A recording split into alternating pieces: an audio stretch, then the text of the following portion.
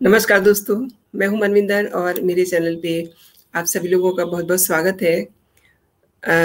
पोन movies बनाने के मामले में मुंबई पुलिस ने क्राइम ब्रांच की मदद से बॉलीवुड एक्ट्रेस शिल्पा शेट्टी के पति और बिजनेसमैन राज कुंद्रा को लास्ट नाइट गिरफ़्तार किया था और आज मंगलवार को उन्हें कोर्ट में पेश किया गया, जहाँ से उन्हें 23 जुलाई तक के लिए न्यायिक हिरासत में भेज दिया गया है।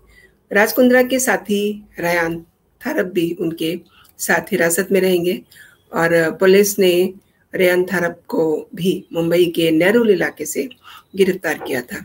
इस मामले में मैं आपको बता दूँ कि सबसे बड़ा अपडेट ये है कि पुलिस एक्ट्रेस शिल्पा शेट्टी से भी पूछा पूछताछ कर सकती है क्योंकि अधिकतर बिज़नेस के आ, मामलों में पति के साथ रहती थी उन्हें एडवाइस करती थी बिज़नेस में उनकी वो पार्टनर भी है। और ये भी माना जा रहा है कि मुंबई पुलिस की क्राइम ब्रांच उन्हें हाजिर होने के लिए जल्द ही समन भेज सकती है।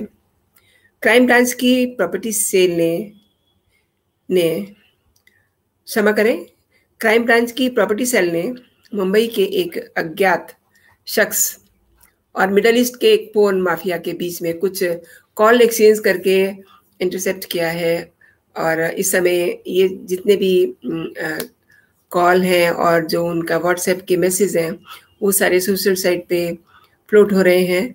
वह व्यक्ति अमेरिकी नागरिक है और कुछ लड़कियों के बयान भी दर्ज किए गए हैं। लड़कियों ने ये खुलासा किया है कि वे एक इंटरनेशनल पोर्नोग्राफी रैकेट के शिकंजे में थी। उनके लोग लड़कियों को ब्लैकमेल करके ज़बरदस्ती उनसे फ़िल्मों में काम करवाते थे और फ़िल्मों में काम करने से पहले उनसे एक ब्लैक स्टॉम पेपर पे साइन कराए जाते थे। एक और बात यह है कि मुंबई पुलिस कमिश्नर हेमंत नागराले का ये कहना है कि राजकुंद्रा इस मामले में प्रमुख साजिश करता है और उनके खिलाफ पुलिस के पास पुख्ता सबूत हैं। उनको गिरफ़्तार करके पूछताछ की जा रही है। इससे पहले राजकुंद्रा को क्राइम ब्रांच ने पूछताछ के लिए बुलाया था और क्राइम ब्रांच की प्रॉपर्टी सेल ने उनसे पूछताछ की। हालाँकि गिरफ्तारी के बाद पुलिस ने पोन मामले का खुलासा किया। इस मामले में अब कुंद्रा समेत 11 लोग अभी तक अरेस्ट किए जा चुके हैं। ये अरेस्टिंग जो है, लास्ट नाइट ही हुई है। और पूछताछ के लिए मुंबई के भाईकला स्थित क्राइम ब्रांच दफ्तर उनको बुलाया गया था। इसके बाद सोमवार रात करीब 11 बजे दो घंटे की पूछताछ के बाद राजकुंद्रा को क्राइम ब्रांच के अधिकारियों ने अरेस्ट किया। मुंबई क्राइम ब्रांच के अकॉर्डिंग राज के खिलाफ इसी साल फरवरी में केस दर्ज किया गया था और राज कुंद्रा ने पोर्न फ़िल्म इंडस्ट्री में आठ से दस करोड़ रुपए का इन्वेस्टमेंट किया था। राज कुंद्रा और उनके ब्रिटेन में रह रहे भाई ने वहीं कैंडिन नाम की एक कंपनी बनाई।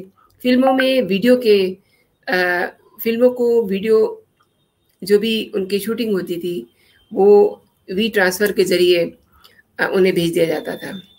मैं आपको बता दूँ कि वी ट्रांसफ़र अमूमन जो आ, उसका यूज़ किया जाता है वो सेफली मेल के ज़रिए ही ट्रांसफ़र हो जाती है और उसके जो पिक्सल होते हैं वो भी उसमें डैमेज नहीं होते। इसलिए वो पूरी फ़ाइल जो है वी ट्रांसफ़र के ज़रिए उन्हें भेजते रहे।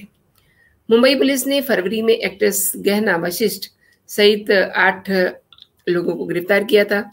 उसी के बाद से तीन और लोगों की गिरफ्तारी हुई थी। इस पूरे मामले में दो एफआईआर दर्ज की गई।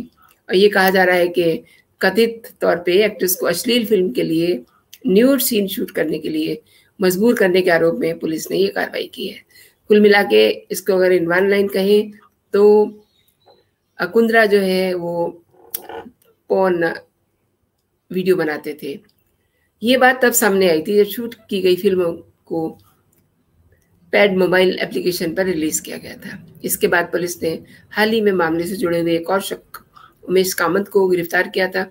कामत की गिरफ्तारी के बाद पुलिस को एक बड़ी लीड मिली और उसी के बाद राजकुंद्रा का जो इससे कनेक्शन है, वो सामने आया था।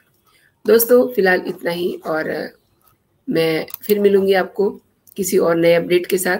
तब तक के लिए जय हिंद, जय भारत।